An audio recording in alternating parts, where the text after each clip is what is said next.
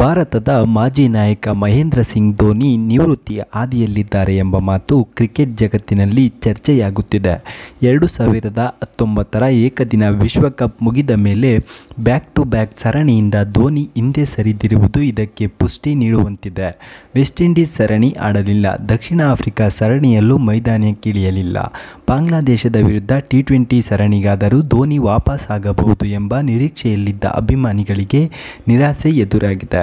ಬಾಂಗ್ಲಾ ವಿರುದ್ಧದ ಸರಣಿಗೂ ನಾನು ಲಭ್ಯವಿಲ್ಲ ಎಂದು ಬಿಸಿಸಿಐಗೆ ಧೋನಿ ತಿಳಿಸಿದ್ದಾರೆ ಎನ್ನಲಾಗಿದೆ. ಇದನ್ನೆಲ್ಲ ಗಮನಿಸಿದರೆ ಧೋನಿ ಕ್ರಿಕೆಟ್ ಭವಿಷ್ಯದ ಬಗ್ಗೆ ಭಾರೀ ಕುತೂಹಲ ಮೂಡಿಸುತ್ತಿದೆ.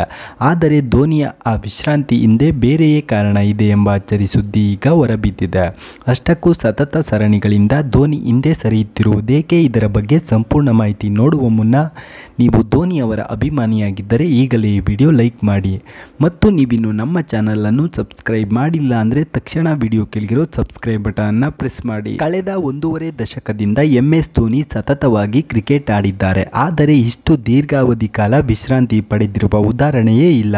ಹಾಗಾಗಿ ಧೋನಿ ತೆಗೆದುಕೊಂಡಿರುವ ಈ ವಿಶ್ರಾಂತಿ ಬಗ್ಗೆ ಸಾಕಷ್ಟು ಅನುಮಾನವಿದೆ. ಮತ್ತೆ ಮತ್ತೆ ತಮ್ಮ ವಿಶ್ರಾಂತಿ ಸಮಯ ವಿಸ್ತರಣೆ ಮಾಡುತ್ತಿರುವುದು ಕೂಡ ಕುತೂಹಲ ಮೂಡಿಸಿದೆ.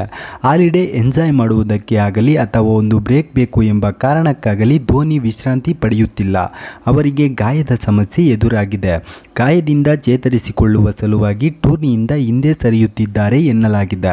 ವಿಶ್ವಕಪ್ ಟೂರ್ನಿಯಲ್ಲಿ ಧೋನಿ ಗಾಯಕ್ಕೆ ತುತ್ತಾಗಿದ್ದರು. ಆ ಉದ್ದೇಶದಿಂದಲೇ ವಿಶ್ರಾಂತಿ ಪಡೆದುಕೊಂಡಿದ್ದಾರೆ. ಆ ಗಾಯಗಳಿಂದ ಇನ್ನೂ ಚೇತರಿಸಿಕೊಳ್ಳಲು ಕಾರಣ ಮತ್ತಷ್ಟು ದಿನ ರಜೆ ಪಡೆದುಕೊಳ್ಳುತ್ತಿದ್ದಾರೆ ಎಂಬ ವಿಷಯ ಬಹಿರಂಗವಾಗಿದೆ. ಎಲ್ಲ ಅಂದುಕೊಂಡಂತೆ ಆಗಿದ್ದರೆ ನವೆಂಬರ್ನಲ್ಲಿ ನಡೆಯಲಿರುವ ಬಾಂಗ್ಲಾದೇಶದ ಸರಣಿಗೆ ಧೋನಿ ಲಭ್ಯವಾಗಬೇಕಿತ್ತು. ಆದರೆ ಬಾಂಗ್ಲಾ ಸರಣಿಗೂ ಅಲಭ್ಯರಾಗಿರುವ ಧೋನಿ ಡಿಸೆಂಬರ್ನಲ್ಲಿ ಭಾರತದಲ್ಲಿ ನಡೆಯಲಿರುವ ವೆಸ್ಟ್ ಇಂಡೀಸ್ ವಿರುದ್ಧದ ಟಿ ಟ್ವೆಂಟಿ ಸರಣಿಗೆ ಲಭ್ಯವಾಗಬಹುದು ಎಂಬ ನಿರೀಕ್ಷೆ ಇದೆ. ಎಂ ಎಸ್ ಧೋನಿ ಯಾವುದೇ ಕ್ಷಣದಲ್ಲಿ ಬೇಕಾದರೂ ನಿವೃತ್ತಿ ಘೋಷಿಸಬಹುದು ಎಂಬ ಲೆಕ್ಕಾಚಾರದಲ್ಲಿ ಬಿಸಿಸಿಐ ಕೂಡ ಇದೆ. ಹಾಗಾಗಿ ಧೋನಿಗೆ ಪರ್ಯಾಯ ಆಟಗಾರನಾಗಿ ಯುವಕರಿಗೆ ಹೆಚ್ಚು ಪ್ರಾಮುಖ್ಯತೆ ನೀಡಲಾಗುತ್ತಿದೆ. ಧೋನಿ ಅನುಪಸ್ಥಿತಿಯಲ್ಲಿ ರಿಷಬ್ ಪಂತ್ಗೆ ಎಲ್ಲ ಮಾದರಿಯ ಕ್ರಿಕೆಟ್ನಲ್ಲೂ ಹೆಚ್ಚು ಅವಕಾಶಗಳನ್ನು ಒದಗಿಸಲಾಗುತ್ತಿದೆ. ನಿಮ್ಮ ಪ್ರಕಾರ ಧೋನಿ ಮತ್ತೆ ಆಡಬೇಕಾ ಅಥವಾ ನಿವೃತ್ತಿ ನೀಡಬೇಕಾ ಎಂದು ಕಮೆಂಟ್ ಮಾಡಿ. ಇನ್ನೂ ಹೆಚ್ಚಿನ ಸುದ್ದಿಗಳಿಗೆ ತಪ್ಪದೆ ನಮ್ಮ ಚಾನಲನ್ನು ಸಬ್ಸ್ಕ್ರೈಬ್ ಮಾಡಿ.